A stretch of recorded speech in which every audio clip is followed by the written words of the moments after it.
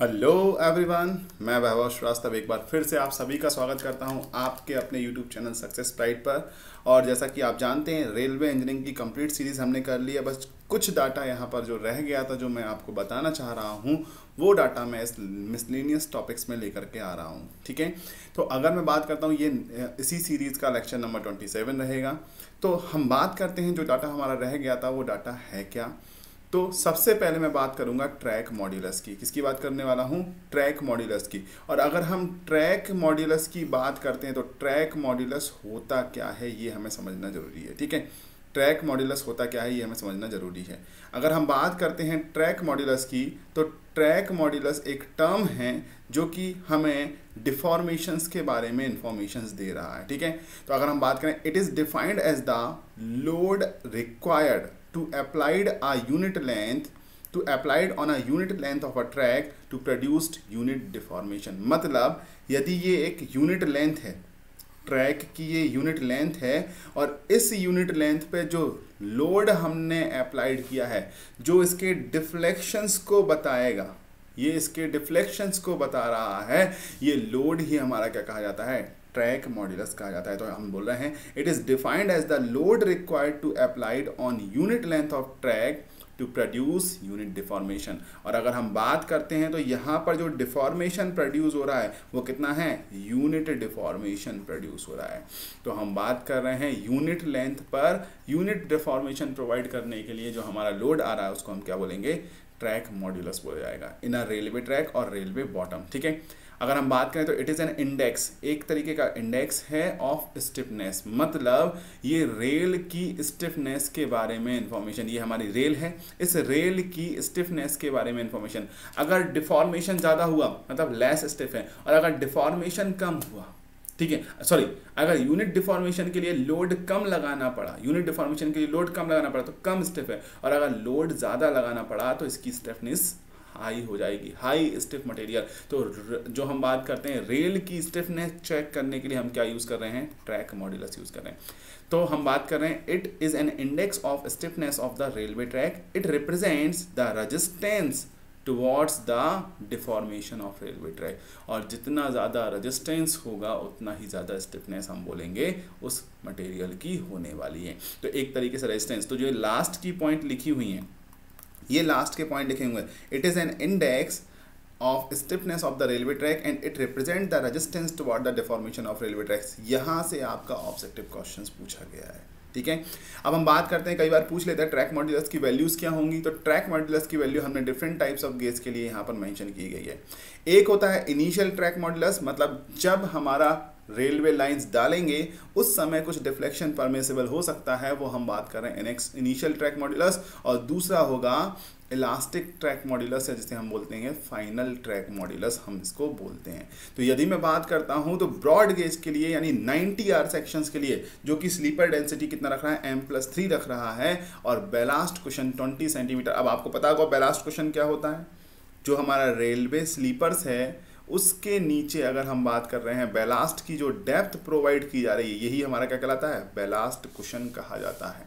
ठीक है? और स्लीपर डेंसिटी आपको पता होगा per rail length per rail length एक अगर रेल है, उसमें जितने नंबर ऑफ़ स्लीपर्स डाले जाएँगे, वो हमारा स्लीपर डेंसिटी तो 90 आर सेक्शंस के लिए इनिशियल कितना होना चाहिए? 70 किलोग्राम पर सेंटीमीटर स्क्वायर और इलास्टिक मॉडल्स या फाइनल ट्रैक मॉडल्स कितना होना चाहिए?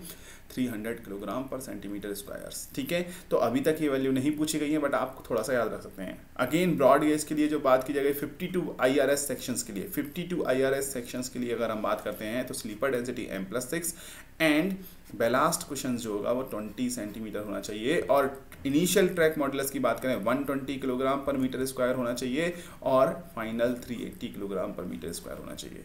ठीक है? तो मतलब ये मॉड्यूलस ऑफ़ लास्टिसिटी की तरह एक स्टिफनेस मॉड्यूलस ही है एक तरीके का। ठीक है? तो वो मॉड्यूलस की बात कर रहे हैं। और मीटर गेज के केस में अगर हम 75 आर सेक्शन यूज़ कर रहे हैं तो अगर हम बात करते हैं, स्लीपर डेंसिटी होना चाहिए एम प्लस थ्री और बैलास्ट क्वेश्चन होना चाहिए 15 सेंटीमीटर। जबकि इनिशियल ट्रैक मॉड्यूलस की बात कर रहे हैं हम 50 किलोग्राम पर सेंटीमीटर स्क्वायर चाहिए। और फाइनल की अगर मैं बात करूँगा तो 250 किलोग्राम पर सेंटीमीटर स्क्वायर होना चाहिए। कितना होना चाहिए? 250 किलोग्राम पर सेंटीमीटर स्क्वायर इस तरीके से हमें इसको लेकर के चलना है। तो ये जो वैल्यूज़ हैं, थोड़ा सा आपको ध्यान रखना है ट्रैक मॉडल्स के बारे में तो हमने ये ट्रैक मॉडल्स की बात की है। ठीक है? नेक्स्ट अगर हम आगे बढ़ते हैं तो यहाँ पर कुछ maximum permissible stresses in tracks material या ट्रैक्स के जो एलिमेंट हैं, उनमें बताई गई है, जो हमें याद रखना है। तो हम बात करते हैं मैक्सिमम बेंडिंग स्ट्रेस अगर बेंडिंग स्ट्रेस की बात करें रेल सेक्शन में रेल सेक्शन में बेंडिंग स्ट्रेस की बात करें तो वो छत्तीस किलोग्राम पर एम एम स्क्वायर यानी थ्री सिक्सटी होना चाहिए। थ्री सिक्सटी अगर हम कॉन्टैक्ट प्रेशर यानी बियरिंग प्रेशर की बात करें between rail surface and wheel तो अगर हम बात करते हैं यहाँ पर ये रेल सरफेस है और ये व्हील है तो रेल और व्हील सरफेस के बीच में यहाँ पर क्या लगेगा? एक कॉन्टैक्ट प्रेशर काम करेगा। तो इस कॉन्टैक्ट प्रेशर की बात कर रहे हैं जो परमिसिबल वैल्यू है, वो twenty one point six kilogram पर एम एम स्क्वायर होना चाहिए, जिसको आप सिंपली बोल सकते हैं two one six M P A two one six M P A ठीक है? अगर हम बात करते हैं शेयर स्ट्रेसेस इन वेव तो अगर हम बात करते हैं रेल सेक्शंस जो होता है, वो कुछ इस तरीके से होता है। और रेल सेक्शन अगर इस तरीके से होता है तो रेल सेक्शन में ये जो पोर्शन है कहा जाता है वेब और जनरली वेब का फेल्योर शेयर के कारण भी पॉसिबल है. शेयर के कारण वेब फेल्योर पॉसिबल है. तो शेयर स्ट्रेस की अगर हम बात करें इन वेब सेक्शन में तो 18 किलोग्राम पर M M square in 72 two U T S sections and 22 kilogram पर M M square in 90 U T S sections यहाँ पर लिया जाता है. ठीक है? अगेन हम बात करते हैं स्ट्रेसेस इन फ़िश प्लेट तो आपको पता है फ़िश प्लेट किस काम में आती है? दो रेल को कनेक्ट करने के लिए और उनको लेवल में रखने के लिए हम क्या करते हैं? फ़िश प्लेट का यूज़ कर रहे होते हैं। तो फ़िश प्लेट की जो होती है परमिसिबल जो स्ट्रेसेस लिमिट होती है, वो 30 किलोग्राम पर एम एम स्क्वायर होती है। 30 किलोग्राम पर एम एम स्क्वायर या आप 300 हंड्रेड एम पी ए बोल सकते हैं। और स्ट्रेसेस इन फ़िश बोल्ट अगर हम बात करें इस फ़िश बोल्ट को फिक्स करने के लिए फ़िश बोल्ट चाहिए फ़िश प्लेट को फिक्स करने के लिए फ़िश बोल्ट चाहिए पड़ेंगे, जिसकी हम वैल्यू कितना बोलते हैं 27 किलोग्राम पर एम स्क्वायर अगर लोड एट रेल जॉइंट्स बात करते हैं, जो हमारा रेल जॉइंट्स है, इस तरीके से जो हमने फ़िश प्लेट के थ्रू बनाया वेल्डिंग करके बनाया है, इस पर अगर हम बात करते हैं लोड जो रहना है तो उसकी मैक्सिमम परमिसिबल स्ट्रेस या मैक्सिमम परमिसिबल लिमिट क्या है उस लोड की?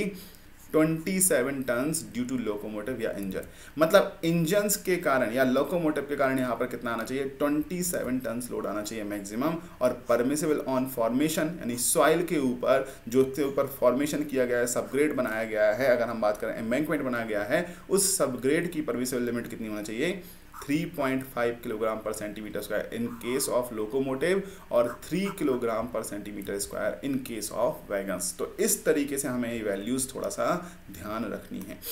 अगेन बात करते हैं capacity of Indian rail sections अगर हम बात करते हैं capacity of sorry capacity of Indian rail section अगर हम इंडियन रेल सेक्शन की बात करते हैं तो ये किस कंडीशन में बात करना है? ठीक है? तो ध्यान रखना, आपने पढ़ा था डिफरेंट टाइप के रेल सेक्शन आप यूज़ करते हैं, ठीक है? आपने पढ़ा था नाइन्टी आर पढ़ा हुआ था आपने पढ़ा हुआ था फोर्टी फाइव पढ़ा हुआ था, आपने पढ़ा था सिक्सटी किलोग्राम पढ़ा हुआ था पर मीटर और आपने फिफ्टी टू किलोग्राम पर। तो किस तरीके से आप यहाँ पर रेल सेक्शन यूज़ कर रहे हैं? तो अगर आप लिखना चाहें तो लिख सकते हैं the relationship between relationship between weight of rail weight of rail and heaviest heaviest axle load. Axle load which which which rails have to carry rails have to carry अगर हम बात कर रहे हैं जो मैक्सिमम एक्सेल लोड जो वो rail यहाँ पर कैरी कर सकते हैं, क्योंकि अगर हम बात करें रेल का सिलेक्शन अगर हम बात करें डिफरेंट बात पे हमने डिस्कस किया होता है डिफरेंट बातों पे डिपेंड करता है, उसमें से एक ये भी था कि axle load maximum axle load कितना आ रहा है। तो अगर हम बात करें कैपेसिटी ऑफ़ इंडियन रेल या relationship between the weight of rail and the heaviest axle load which which rails have to carry जो रेल को कैरी करना होगा, वो कितना होगा? तो ध्यान रखिएगा मैक्सिमम एक्सेल लोड आप जो बोलते हैं, वो होता है five one zero to five sixty times of self weight of train मतलब सेल्फ वेट के ट्रेन का five one zero to five sixty तो यहाँ पर एक क्वेश्चन पूछा गया था ऑब्जेक्टिव में, उसमें लिखा हुआ था self weight of rail upon axle load का जो रेशियो होता है वो कितना था? और अगर हम बात करें मैक्सिमम एक्सेल लोड का तो वो वैल्यू कितनी हो जाएगी? वन अपॉन फाइव सिक्सटी या one, two, one upon five one zero. इस तरीके से भी वैल्यू थी और वहाँ पर जो आंसर था, one upon five sixty answer था। तो ये कंडीशन हमने देखी हुई है और यहाँ पर इस तरीके से भी क्वेश्चन पूछा जा सकता है। तो आपको ये रेशियो ध्यान रखना है। ठीक है? आगे हम बात करते हैं कई जगह फॉर्मेशन अगर हम बात करते हैं रेल मटेरियल रेल मटेरियल में अगर हम बात करते हैं तो उनका कंपोजिशन पूछा गया है। तो अगर हम बात करें रेल मटेरियल का जो कंपोजिशन बात करते हैं, वो कंपोजिशन मैंने आपको बताया था कि मेनली कार्बन और मैग्नीज होता है। मेनली कार्बन और मैग्नीज से मिलकर बनी होती है। इसके अलावा सिलिकॉन भी हो सकता है सिलिकॉन भी हो सकता है सल्फ़र भी हो सकता है फॉस्फोरस भी हो सकता है आयरन इनके ऑर्डिनरी रेल्स में क्या कंपोजिशन होंगे यहाँ पर मेंशन किया गया है और यहाँ पर लिखा हुआ है rest of all rest of all का मतलब है कि अगर इन सभी को कंबाइंड कर दिया गया, उसके बाद जो बचा हुआ मटेरियल है, उसका हम रेस्ट ऑफ़ ऑल लिख देंगे। ठीक है? अगेन इनको कंबाइंड किया गया और यहाँ जो बचा हुआ मटेरियल है, उसको हम रेस्ट ऑफ़ ऑल लिख देंगे। तो यहाँ पर जो ऑर्डिनरी रेल्स के लिए लिया गया है, जो कॉम्बिनेशन लिया गया है, और यहाँ पर रेल एट पॉइंट्स एंड और क्रॉसिंग हमने पढ़ा हुआ था कि पॉइंट और क्रॉसिंग पे जो रेल सेक्शन होते हैं, वो बहुत ही क्रूशियल होते हैं और काफ़ी सारी स्ट्रेसेस पे वो हेल्ड होते हैं या काफ़ी सारे स्ट्रेसेस पे रखे होते हैं। तो उस कंडीशन में कुछ स्पेशल सेक्शंस हमें बनाना होंगे तो वही सेक्शंस की हम यहाँ पर बात कर रहे हैं। ठीक है? तो ये सारी बातें हमने यहाँ पर की हुई थी। नेक्स्ट आगे बढ़ते हैं तो आगे हमने देखा था maximum axle load in India तो देखिएगा, आपने जब हॉलिंग कैपेसिटी निकाली थी हॉलिंग कैपेसिटी क्या था? Mu W N. जहाँ डब्ल्यू क्या था? डब्ल्यू की बात करें, weight on driving axle. Driving axle की बात कर रहे हैं तो मैक्सिमम अगर हम बात करें, ड्राइविंग एक्सेल पे वेट कितना है? और यही जो डब्ल्यू है, मैक्सिमम एक्सेल लोड है इन इंडिया। उसके कुछ परमिसिबल वैल्यूज़ होती हैं। तो अगर हम बात करें ब्रॉड गेज के लिए ये वैल्यू 28.56 टन हैं मीटर गेज के लिए 17.34 टन है एंड नैरो गेज के लिए बात करते हैं 13.26 टन है। अगर कभी पूछा गया कि हॉलिंग कैपेसिटी के केस में जो मैक्सिमम एक्सेल लोड है, ब्रॉड गेज के केस में कितना होता है तो आपको आंसर देना होगा 28.56 मीटर गेज के केस में कितना है? 17.34 टन्स एंड नैरो गेज के केस में 13.26 टन अगर ये वैल्यू डब्ल्यू आपको क्वेश्चन में नहीं दी जाती है तो यहाँ से वैल्यू आपको अरेंज करके वहाँ पर पुट आउट करना होगा। और नेक्स्ट इन द लास्ट बात कर रहे हैं फॉर्मेशन विर्थ तो फॉर्मेशन विर्थ क्या होता है?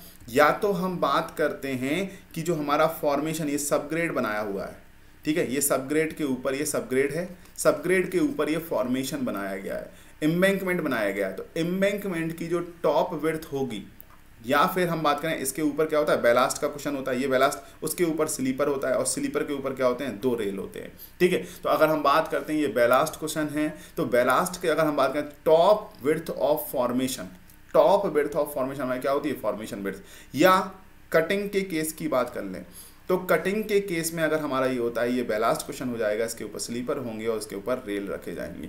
तो अगर हम बात कर रहे हैं बॉटम बिर्थ इन कटिंग या तो बॉटम बिर्थ इन कटिंग या टॉप बिर्थ ऑफ़ फॉर्मेशन ये हमारा क्या होता? फॉर्मेशन विर्थ होता है। तो यदि मैं बात करूँ यहाँ पर फॉर्मेशन विर्थ की डेफिनेशन लिखूँगा तो formation is formation is a term used to denote the denote the surface formed at the top at the top of embankment at the top of embankment or or at the bottom of cutting is. Bottom of cutting for a railway for a railway और roadway. Roadway या railway में जो top बिर्थ of embankment होती है या bottom बिर्थ of cutting जो होती है, उसको हम क्या बोलते हैं? फॉर्मेशन बिर्थ बोला जाता है। और अगर हम बात करें तो एज पर आईआरसी जो फॉर्मेशन बिर्थ यहाँ पर दी गई है, वो किसके लिए दी गई है? As per Indian standard Indian standard के अकॉर्डिंग वो फॉर्मेशन बिर्थ यहाँ पर डिफाइन की गई है। तो ध्यान रखिएगा यहाँ पर जो हमने अपने लेक्चर में बात की हुई थी तो मैंने आपको ब्रॉड गेज के लिए ही मेनली डायमेंशंस बताए थे। बट मैं यहाँ पर आपको broad gauge metre gauge and narrow gauge के लिए बता रहा हूँ। तो एम्बैंकमेंट जब विर्थ ऑफ़ बैंक की अगर हम बात करते हैं फॉर्मेशन विर्थ की बात करते हैं तो सिंगल लाइन के लिए और डबल लाइन के लिए अलग अलग होता है। क्योंकि फॉर्मेशन विर्थ हमारी, हमारे टाइप ऑफ़ ट्रैक पे डिपेंड करती है। एक तो हमारा डिपेंड करती है, ये किस पे डिपेंड करता है? तो ये depends on depends on formation width की बात कर रहे हैं। किसकी? फॉर्मेशन विर्थ की बात कर रहे हैं। फॉर्मेशन विर्थ दो बातों पर डिपेंड करता है। एक तो डिपेंड करता है type of type of track track का टाइप क्या है? ब्रॉड गेज है नैरो गेज है या किस तरीके का है। ठीक है? दूसरा नंबर ऑफ़ ट्रैक कितने नंबर ऑफ़ ट्रैक वन है टू है, सिंगल है, डबल है, किस तरीके का है, वो हम बात करते हैं, ठीक है? तो उस बेसिस पे यहाँ पर बात की जाती है तो हम बात कर रहे हैं एम्बैंकमेंट पे ब्रॉड गेज के लिए 6.10 एंड 10.67 सिंगल लेन के लिए 6.10 एंड डबल लेन के लिए 10.67 मीटर गेज की बात की जाएगी तो मीटर गेज में सिंगल लेन में 4.88 और डबल लेन में 8.53 नैरो गेज में 3.70 एंड 7.32 और स्लोप अगर हम बात करें सिंगल लेन में कोई स्लोप डिफाइन नहीं है, जबकि डबल लेन में टू रेशियो वन हो जाएगा टू रेशियो वन कटिंग की बात करें विर्थ अगर हम बात करते हैं कटिंग या विर्थ एक्सक्लूडिंग साइड ड्रेन्स हम बात करते हैं यहाँ पर हमें क्या प्रोवाइड करना होगा? साइड ड्रेन्स भी। तो साइड ड्रेन्स के लिए अलग से प्रोविज़न किए जाते हैं और यहाँ पर कटिंग के केस में जो सिंगल लेन और डबल लेन का होगा, वो सिंगल लेन का 5.49 डबल लेन का 10.06 मीटर होगा और अगर हम बात करते हैं मीटर गेज का 4.27 और सिंगल लेन के केस में डबल लेन के केस में 7.93 और नैरो गेज का 3.35 एंड 7.1 7.01 और साइड स्लोप जो होगा वो 1.5 रेशियो वन हो जाता है। कितना हो जाता है साइड स्लोप साइड स्लोप की अगर हम बात करें तो कितना हो जाता है? साइड स्लोप हो जाता है जो वो होता है 1.5 रेशियो वन और जनरली इसको हम क्या बोलते हैं? हम बोलते हैं 1.5 हॉरिजॉन्टल टू वन वर्टिकल यहाँ पर। ठीक है?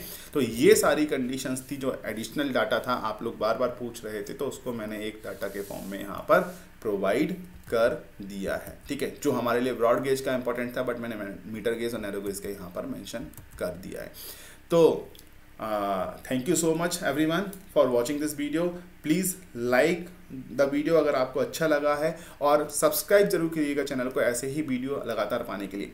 साथ ही साथ अगर आपको ये अच्छा लग रहा है तो अपने दोस्तों के साथ भी शेयर कीजिएगा, जिससे हमारे जो डाउट्स हैं, ज़्यादा लोग जोड़ेंगे और ज़्यादा डाउट्स आएँगे तो वो हमारे लिए अच्छा होगा। और इसकी पीडीएफ के लिए आप नीचे डिस्क्रिप्शन में टेलीग्राम चैनल की लिंक दी गई है, वो टेलीग्राम चैनल ज्वाइन कीजिएगा। साथ ही साथ उसी टेलीग्राम चैनल पर आपको डेली करेंट अफेयर्स भी प्रोवाइड किया जा रहा है और डेली टेन क्वेश्चंस का क्विज भी किया जा रहा है तो आपके लिए बेनिफिशियल होगा तो टेलीग्राम चैनल ज़रूर ज्वाइन कीजिएगा। तो मिलते हैं जल्दी, एक छोटे से ब्रेक के बाद, तब तक के लिए शुक्रिया थैंक यू सो मच